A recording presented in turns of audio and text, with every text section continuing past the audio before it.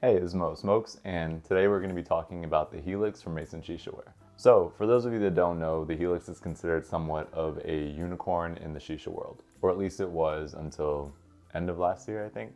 The Helyx was first introduced in 2018, and then the last time it was produced was 2019. Since then, collectors have been dying to get a Helyx. They're trying to buy it on the secondhand market. I've seen some go for like $700, $800. It's been crazy. Because of the increased demand and because people are clamoring like, oh, I really want a Helyx, Mason Shisha brought back the Helyx. It's not like it was ever canceled, it just wasn't made for a while. So this is the Helyx V2, and this came out in October of 2021 there was some feedback given, like some people wanted it to be a little bit bigger, some people wanted it to be a little less sharp, some people wanted the spire to be a little bit lower. And basically, Mason Shisha being the company that they are, updated it to the V2, I guess, 0.2, if you will, which is a little bit bigger, stands a little bit taller if you can see there, and I'll bring the camera in so you can actually get a better look at it. It says bowl capacity is 11 to 16 grams. I get 12 grams of Element Air, which I have in front of me and I'll pack for you. And then I get 16 grams out of Tangiers. Keep in mind these are handmade, so they'll vary from bowl to bowl. And I'll actually show you how I pack it and kind of tell you a little bit more about the bowl. So without further ado, I'm gonna bring the camera in a little bit closer and let's pack some shisha. All right, so before I actually start packing the bowl, I wanted to point out a couple of things. This version right here is the version that came out in October of 2021, and this is the updated version that came out in November of 2021. You can see the difference in size. This one's a little bit bigger. The updated version is a little bit bigger. Also, the inside is a little bit bigger. So like the spire is wider, but also the trench is a little bit deeper. And then also the colors are slightly different, but these are both considered the Amalfi color. Another thing I wanted to point out, obviously, you know, I use the Provost a lot. The Provost will sit on it perfectly as it sits on most bowls. Obviously there's gonna be foil here and I'll actually show you how I foil it too, but it sits on it perfectly. Again, as it will on most bowls. Don't judge me, I didn't clean this yet. But I have a Lotus here. The Lotus also sits on it perfectly. And here, show you from the side. So you can use either the Lotus or the Provost with this. All right, now what I wanted to talk about here, let's let's move this one out of the way now that we've established that, you know, this is the updated version. A couple of things I wanted to point out. So the spire is thick on this, but also it's deceptive when you pack it. So a lot of people are falling into this trap where they feel like, oh, I'm just gonna pack it here and it's good to go. It's actually deep and narrow. So what you wanna do is when you're packing, you truly do want to make sure that you're fluff packing the tobacco in and then adjusting the density accordingly. So here I have Element Air Bellini, and I'm just gonna grab some of the shisha, grab the bowl, and then basically what you're gonna do is you're going to drop it into the trench.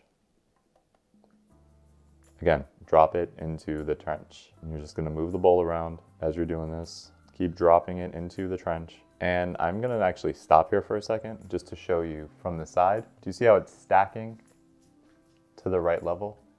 So I'm just dropping it to the right level, dropping it into the trench until you get to the density or until you get to the height that you're looking for based on the tobacco that you're packing. So here it looks like this. You'll see it's a little above the rim. And then what I'm going to do is I'll get a foil poker or I'll get a toothpick or I'll do it with my fingers, but not smush it to where it gets to the right density. All right, once I get the right amount of tobacco in there, you'll see here it's slightly above the rim. I'm going for a heavy normal on this. So what I'll do is I'll either grab a foil poker or I'll grab a toothpick or I'll actually just use my finger, but be very careful to maintain a heavy normal pack. All right, more or less, it's gonna look like this. This is a heavy normal in the Helyx. And again, I just did a heavy normal because that's how I pack Element Air. It looks like that.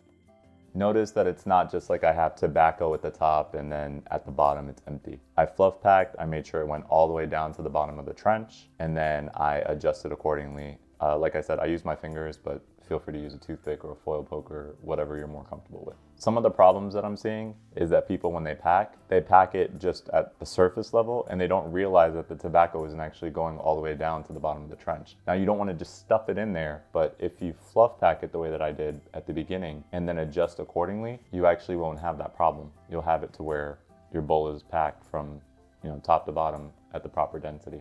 There's a blonde like element air. And now what I'm gonna do is I'm gonna pack Tangiers. All right, so I mostly wiped everything down and now I'm just gonna pack some Tangiers I'm packing nectarine, grab my bowl. So it's gonna be very much the same thing in terms of the setup. I have my shisha and I'm actually just pushing it off my fingers as I'm fluffing and separating it, making sure that it's not clumpy and moving my bowl around as I'm doing this.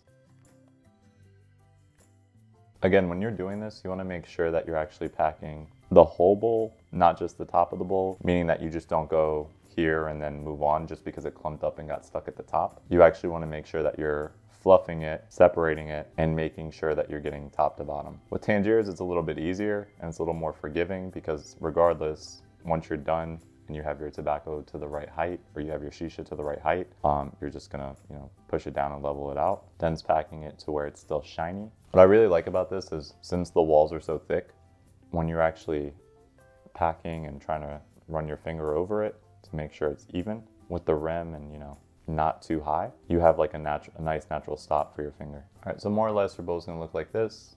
And again, my fingers are gross because of the, you know, shisha, but your bowl's gonna look like this. It's nice and even to the rim and it's ready for you to foil it and smoke it. All right, so once that's packed, all we really need to do, get some foil. Um, I'm gonna use this foil, which is like the Zomo strong foil. Just use one sheet of that. Grab the bowl. What you're gonna do is just pull like this. See how it's pulled? and then you're just gonna smack it on there. There's a couple ways you could do this. I mean, you guys know how to foil, I think. But what you wanna do is make sure that it's as tight as possible. So here what I'm gonna do is I'm gonna pinch and then I'm gonna pull down here. And then I'm gonna do the same thing on the other side and make sure that's nice and tight. And then what you can do is you can come around the side and actually just pull down gently to make sure that those parts that are sticking up are no longer sticking up. And then the nice thing about the Helyx is like there's actually a ridge here um, under the lip where you can actually just squeeze. Here you have your foil as tight as possible. You can see that because it looks as tight as possible. So here I'm just gonna hold the sides, I have a foil poker, you can use a toothpick, whatever. Um, since this is Tangiers, I'm actually just gonna go all the way down. I use a more open hole pattern when I do this. And again, I'm just pushing all the way down. Again, because it's Tangiers, anything else, you can just, you know, poke your holes. And this is slow motion. This is me going super slow when I'm poking these holes. But here,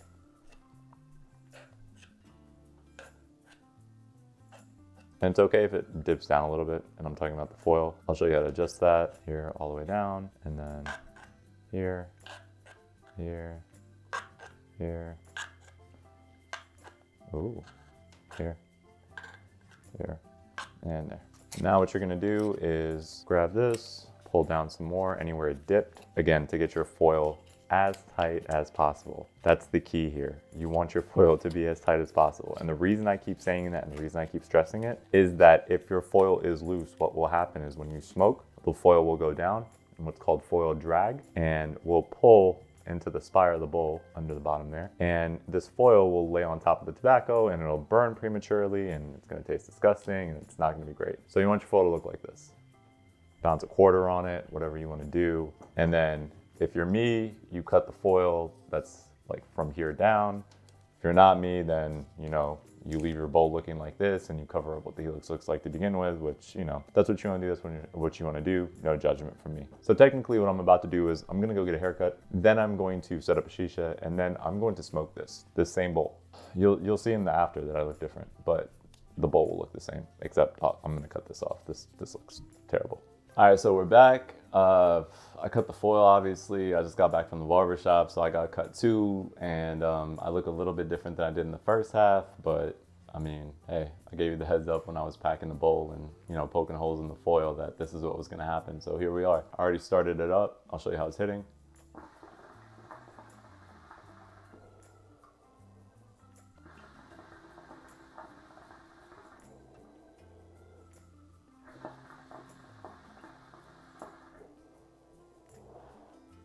So the thing I love about this bowl is that it maintains heat really well. It's a thick stoneware bowl as you're used to from Mason Shishaware and it doesn't really take a lot of tobacco like Tangiers is 16 grams and that's it. So it's gonna give you a great session regardless. I've been getting consistent sessions with it. No heat spikes, no problems. The walls are thick, so again, it maintains that heat you don't get any heat spikes. And honestly, I think Mason Shishaware may have messed up with this bowl. Like this bowl is as good as the Gravyl when it comes to blonde and it handles dark really, really well. So If you're thinking about picking up a Helyx, next drop, when it comes out, make sure you pick that up. Like I said, all of the problems from the first version of V2 have been addressed. It's a slightly bigger bowl. You can use blonde with it. You can use dark with it. You can use a Provost. You can use a Lotus. You can smoke the way that you regularly smoke and you're gonna get a good session. All right, so thank you for watching. Make sure you like, make sure you comment, make sure you subscribe. Make sure you're following me on Instagram at Moa Smokes. If you have any questions, I'm always happy to answer. Either leave them in the comments or feel free to DM me directly on at Moa Smokes on Instagram.